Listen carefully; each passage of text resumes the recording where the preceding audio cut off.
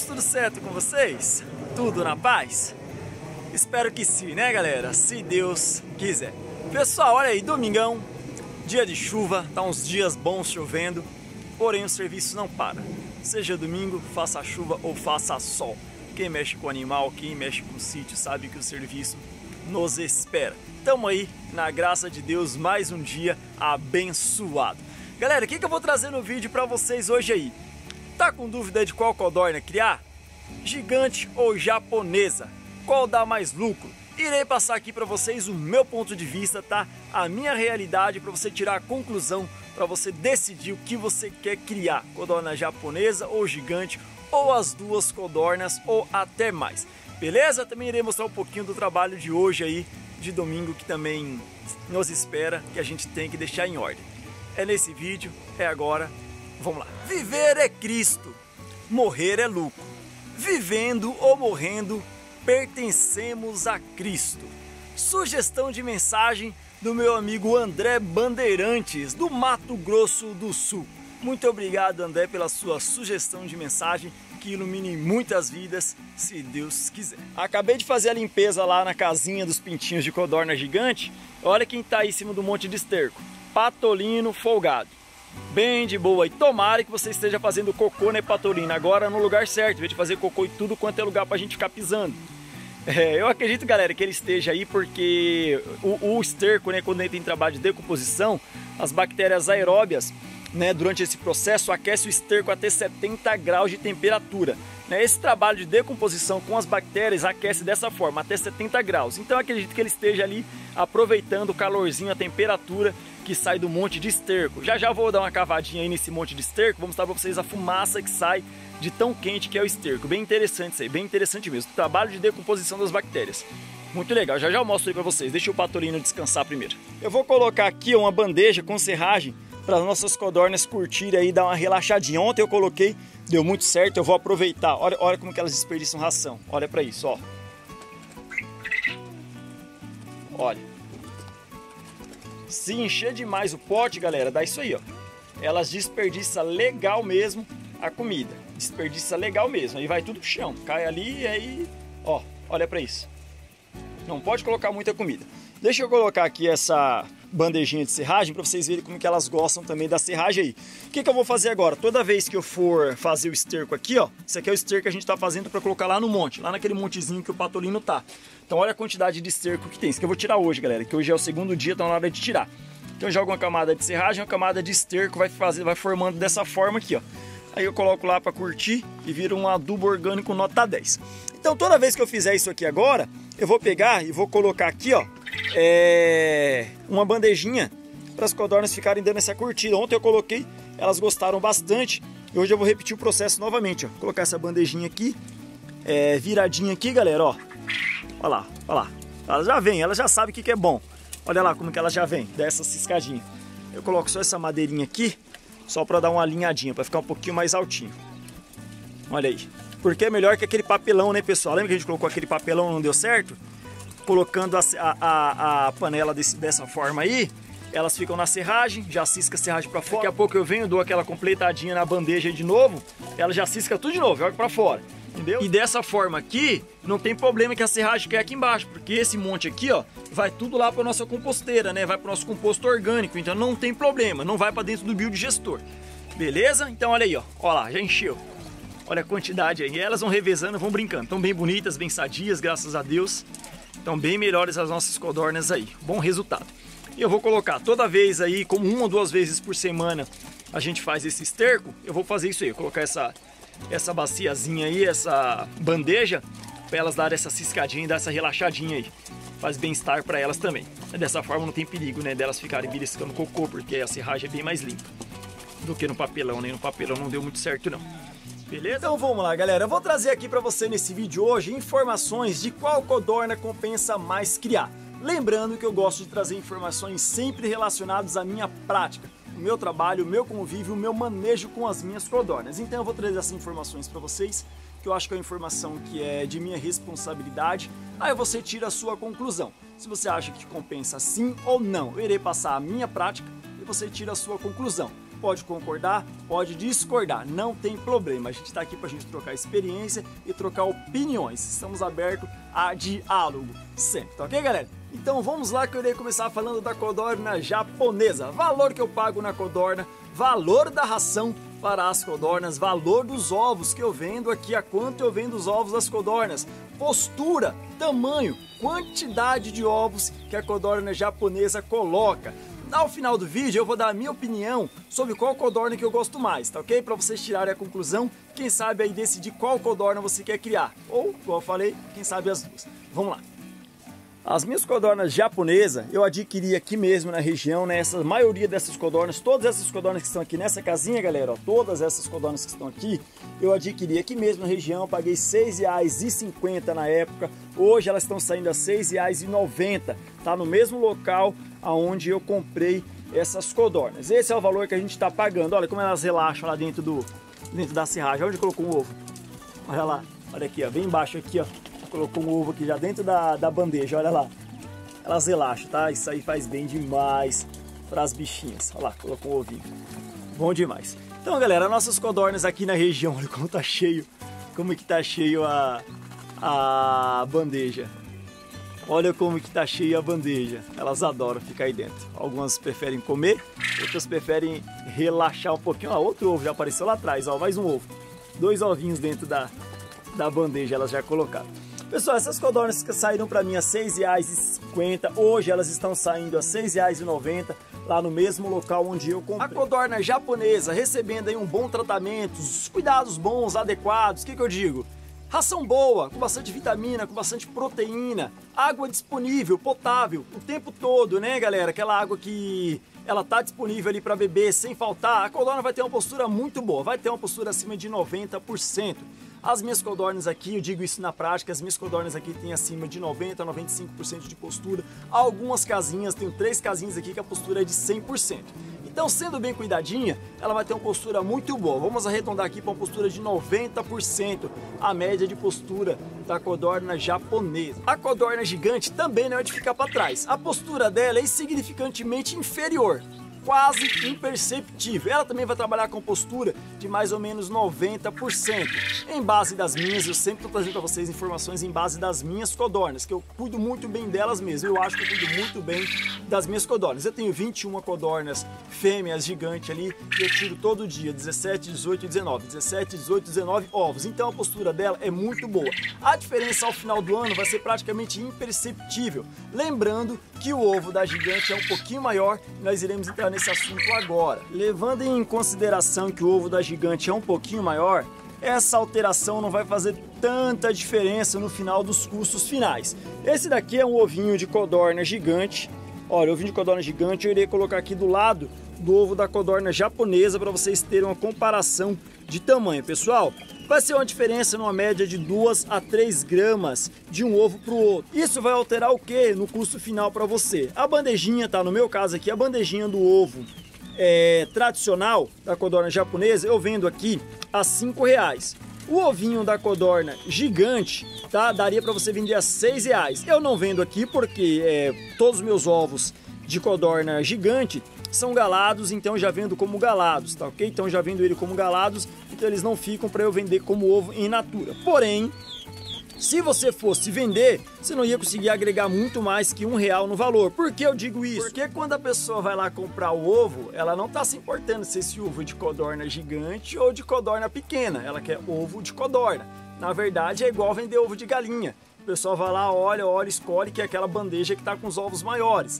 Então não adianta você agregar muito valor em cima disso que você acaba não vendendo, tá ok? Então você vai conseguir aumentar só um realzinho ali. É igual ovo de galinha. Ovo de galinha é o ovo normal e o ovo jumbo, né? O ovo extra. Ele aumenta um tiquinho só no valor. Não adianta você pensar que você vai conseguir aumentar dois, três reais ou o dobro do valor, porque você não vai conseguir vender e esse ovo vai ficar empacado. Então a diferença é bem pouca. Independente da minha região para a sua região, acredito que você também não vai conseguir agregar muito mais que um real no valor final da bandeja do ovo da codorna gigante, tá ok? Na verdade, é um atrativo até para você vender mais ovos, porque quando você vende um ovo maior, a pessoa fala, nossa, o ovo de codorna ali do fulano é grande, eu vou lá pegar só os ovos de codorna dele, que é melhor que o ovo do mercado. Então isso aí que ajuda, tá ok? Você vender o ovo da gigante. Então, acho que o acréscimo aí de um real já tá de bom tamanho, né? Com o custo que a gente tem na produção. Não sei como que você vende aí. Talvez você venda na sua região o ovo de codorna gigante mais caro. Ou você também venda mais barato. Eu não sei como que é na sua região. Isso varia de região para região.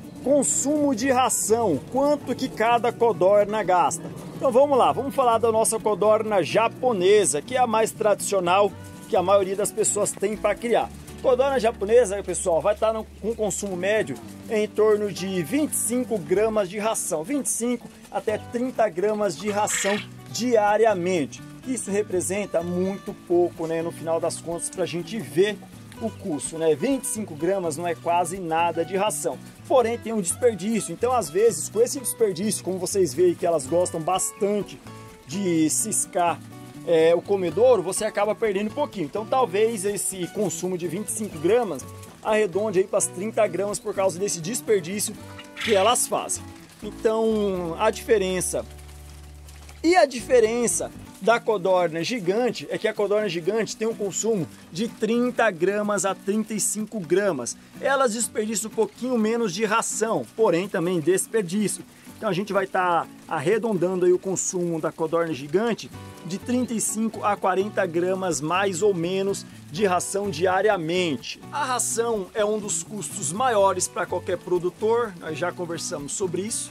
E hoje nós estamos tendo uma ração aqui, tá? No meu caso, uma ração de R$ 3,05. Então você faça o cálculo que você precisa para alimentar 30 codornas japonesa 750 gramas de ração. E para você alimentar 30 codornas gigantes, você vai ter um consumo de 1,50 kg de ração.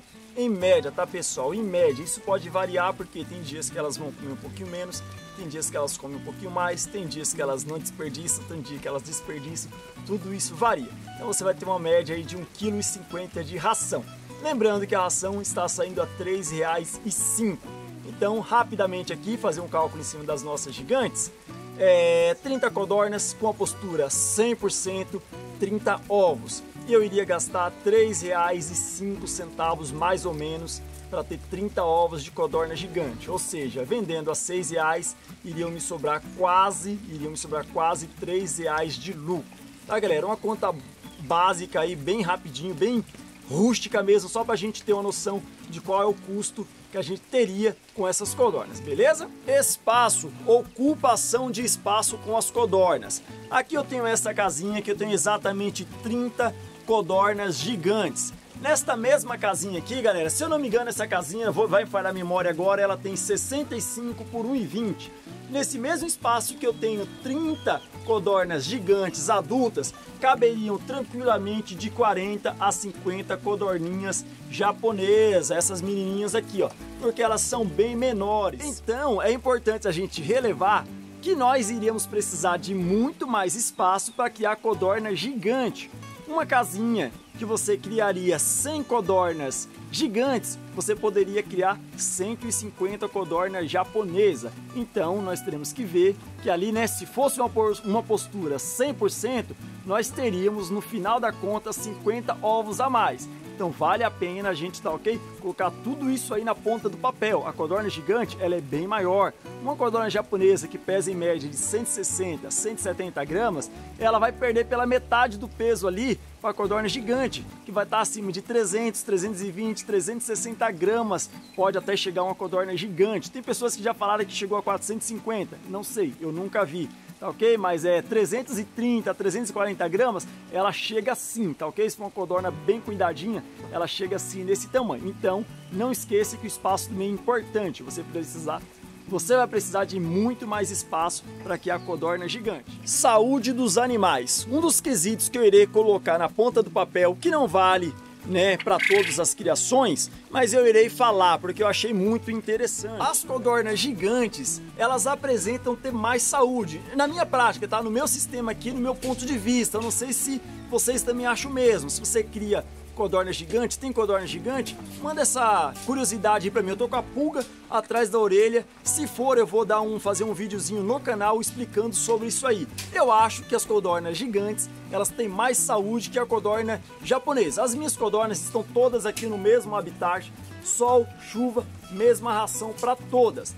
Porque as minhas codornas japonesas já ficaram, né, ultimamente, coccidiose, prolapso, né? Porque as codornas gigantes estão no mesmo sistema, nunca apresentaram nenhum tipo de doença. Então, o que, que eu acho, do meu ponto de vista, que as codornas gigantes, elas são mais saudáveis, tá? Que elas são mais resistentes à doença. Se você tiver alguma opinião, manda aí pra mim, que eu quero divulgar isso aí no canal sobre a saúde das codornas gigantes. Eu acho que as codornas gigantes têm mais qualidade de saúde, são mais resistentes a alguns tipos de doença, resistentes a doenças em geral beleza? Um dos problemas aí da gente conseguir adquirir as codornas é que a codorna japonesa ela está acessível em praticamente todo o Brasil. Qualquer lugar você acaba. Olha o tanto de ovo já tem lá dentro, pessoal. Olha só para isso. Deixa eu fazer ela sair aqui para vocês verem. Olha a quantidade. Sai, meninas. Eita, olha lá. Olha aqui. Olha o tanto de ovo que elas colocaram só aqui dentro. Quatro. Tem mais um, dois aqui, ó, do lado de lá. Eita, coisa boa, vocês gostam da serragem, né? Então, pessoal, o problema maior aí é a gente adquirir esses animais. A codorna japonesa, a gente acha ela com mais é, acessibilidade no Brasil, tá? Tem locais que mesmo assim não tem, tem dificuldade, tem alguns amigos aí que manda pra gente que não acha de forma alguma nem codorna japonesa, nem codorna gigante, não acha nada. E para complicar mais ainda a situação, a gente sabe que a codorna gigante, a gente tem essa dificuldade também de aonde adquirir as codornas, aonde adquirir os ovos galados, aonde adquirir pintinhos de codorna gigante. Então, vale levar em conta, tá ok? Vale levar em conta nesse quesito que a codorna japonesa você encontra ela com mais facilidade. Então, nesse, nesse caso aqui, um ponto positivo para a codorna japonesa. Ela é mais fácil de você achar no comércio. E iremos levar também em consideração que a codorna japonesa ela é muito mais barata que a codorna gigante. Quando você acha? Tirando alguns locais aí do Brasil, né? Alguns amigos mandam pra gente no canal que não acha de forma alguma codorna para comprar. Vai ficar, já vai ficar a dica para vocês. Abre o olho, abre o olho. Se não tem codorna na sua região, veja a possibilidade de você vender codorna na sua região, meu amigo. Às vezes as pessoas procuram e não acham, as pessoas querem criar Todo mundo quer ter uma codorninha, tá? Quase todo mundo quer ter uma codorninha no fundo de casa, uma, duas, cinco codorninhas para criar. Abre o olho. Falei para vocês que aqui em São Paulo tem uma grande granja, né, que distribui é, codornas de pintinho de um dia pro Brasil inteiro. Quem sabe dá uma ligadinha, faz uma cotação, quem sabe compensa para você criar codorna e você vender codorna. Tem local que não acha de forma alguma, então ó, abre o olho, às vezes a ideia tá aí no chão, a gente tropeça e acha a solução. Ó, fique esperto com essa dica aí, beleza? E o grande quesito final para a gente finalizar totalmente aqui as dúvidas com as nossas codornas será o abate qual codorna é melhor para a gente fazer o abate, qual codorna compensa mais. Obviamente que nós teremos o dobro de carne da codorna gigante, galera, óbvio. Então, se você pensa em criar codorna, também coloque isso na ponta do papel. Você vai estar tá comprando a codorninha gigante mais caro, porém, ela vai estar tá vindo para você com muito mais carne para você vender ao final, quando ela estiver no ponto de abate. Lembrando, tá? Lembrando que talvez você não vá conseguir vender essa carne de codorna em toda a esquina. Por que eu digo isso? Porque a carne de codorna exige, vamos dizer, um público mais exigente, pessoal. Não exigente em paladar, porque é uma carne muito boa, todo mundo quer comer. Mas é uma carne cara, é uma carne que não vai estar acessível para você vender para todo mundo, tá? Às vezes a pessoa pode até gostar, mas às vezes não compra porque é uma carne cara. Então, lembrando que você pode ter essa dificuldade para você vender a carne ao final, tá ok? Ao final. Então, vale a pena você ver que compensa, porque você vai ter o dobro de carne, né, da codorna gigante e talvez você não tenha onde vender essa carne. Então, às vezes compensa você ver como demora aí um ano, um ano e dois meses, três meses para você descartar essas codornas, né? Trocar o seu plantel, você tem tempo suficiente para você ir alinhando isso aí com alguma granja ou com pessoas mesmos que, que queiram comprar. Você não precisa vender isso tudo de uma vez, né? Você faz o abate lá de 10 codorninhas, congela no freezer, você vende. Aí você vai lá e troca. tá ok? Porque se você abater 100 codornas de uma vez, vai dar muita carne, tá? Uma carne que vai ser muito cara. Carne de codorna é absurdamente cara. Então tome cuidado aí, lembre-se disso para você não encontrar dificuldade para você depois escoar a carne da sua codorna, tá ok? Olha aí, esses caras já tudo para fora, já botaram ovo ali para dentro, já vou encher de novo para vocês, meninas. É, a, a, postura delas aí é relativamente bem parecido, como eu falei para vocês, não tem muita diferença, tá ok? Um número bem relativamente bom. Saiu aqui já dois dessas gigantes, eu já vou tirar esses dois gigantes aqui, eu não estou deixando porque eu estou quase sem ovos aí, não estou conseguindo atender as encomendas de ovos galados de gigante e eu não posso deixar elas bicarem e judiar. A postura é bem relativamente parecida, vale a pena você pensar o que, que dá para você criar. Agora eu vou falar para você aqui o meu ponto de vista. Em base de tudo isso que nós conversamos nesse vídeo, eu penso dessa seguinte forma aqui em relação à codorna gigante ou japonesa.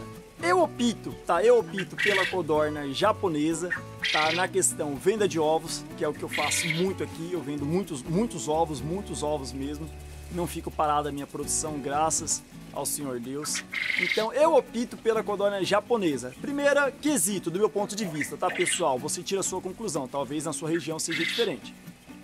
Codorna japonesa, você encontra ela mais barato. Codorna japonesa, ela come um pouquinho menos de ração. Codorna japonesa, ponto negativo. Ela fica um pouquinho mais doente, mas eu acho que compensa. Eu acho que compensa. Vamos ver se a gente troca de opinião aí com o passar dos meses, o tempo que a gente acha, tá ok? Tudo é aprendizagem. É, postura, 90%, relativamente parecido. A postura muito boa entre a codorna japonesa e gigante. Porém, porém, eu fico com a codorna japonesa porque o ovo da codorna gigante, tá? Eu tô falando em consumo in natura, tá? Sem ser ovo fértil, sem ser ovo galado. Eu faço aqui ovo galado, então eu não troco ovo galado. Ovo galado é minha opção primeiro, tá? Eu prefiro ovo galado. Mas para vender para consumo, eu optaria em ficar com a codorna japonesa. Porque eu iria vender a cartelinha aqui da, da codorna gigante por seis reais. Um real a mais do que eu venderia a codorna, o ovo da codorna japonesa. Porém, eu vou pagar 10, 15 reais em uma codorna gigante. Eu estou pagando a metade do preço na codorna japonesa. Então aí de cara aí você já bate quase 2 kg de ração em comparação com o preço das codornas, tá ok? É a metade do, do valor praticamente. Então a gente já bate aí pelo menos 2 kg de ração, 2 kg de rações 2 kg de ração daria para alimentar uma codorna por quase 3 meses. Quase 3 meses. 2 kg de ração daria para alimentar uma codorna por quase 3 meses. É 750 gramas por mês que ela vai utilizar, tá ok? Mais ou menos, em base, tá pessoal? Em base, 750 gramas por mês. Então, por esses motivos aí que a gente conversou e outros, eu acho que eu opto realmente para produção de ovos, para vender ovos para consumo. Eu opto em ficar com a codorna japonesa, tá ok? Veja o que, que você acha, se você concorda ou discorda, tá ok? É, mas é, em ovos galados eu não discuto a questão de codorna gigante, tá? Ovos galados, a codorna gigante é de tirar o chapéu. Muito obrigado você que é inscrito no nosso canal, eu agradeço de coração, que Deus abençoe a sua vida. Você que não é inscrito, se inscreve para dar uma forcinha para o canal, que Deus também abençoe a sua vida, meu irmão e minha irmã. Valeu! Até amanhã no próximo vídeo. Tchau, tchau.